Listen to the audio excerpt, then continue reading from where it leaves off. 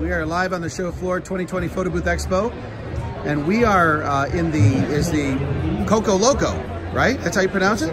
All right. So people love taking photos, but now you can actually eat them. And uh, I want to introduce you. This is Fernando. Hello. And we have uh, found a very innovative product. Would you tell us a little bit about it and what it does? Sure, I'll be happy to. So this is the Coco Loco C4 printer. Okay. What the C4 printer does is it prints edible ink with edible inks.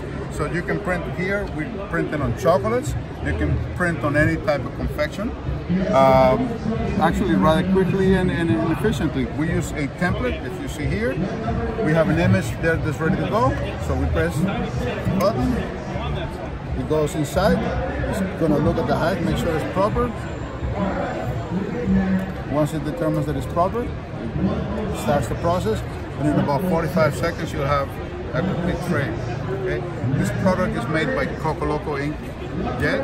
We're a South Florida-based company. We have the hardware, we have the software, we have the inks, and we manufacture and, and uh, confections for you. So please look at us online www.cocolocoinks.com and you have all the information at your disposal there. As soon as this comes out, you'll be, you'll be witness to very nice. And if someone if someone is uh, interested, what is the the price point on this system here? And there it is. The price point is fifty six ninety five, and we have a nice show special. This is your confection here, but you can see we have all sorts of different images. Okay.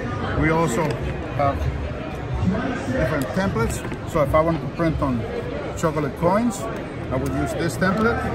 If I wanted to do squares, I would use this template. And if you see here, this is our brochure. Tells you all the wonderful things that we can do on edible uh, uh, confections. Very nice. Or should I say very sweet? yes, it is. Fernando, thank you so very much. My pleasure.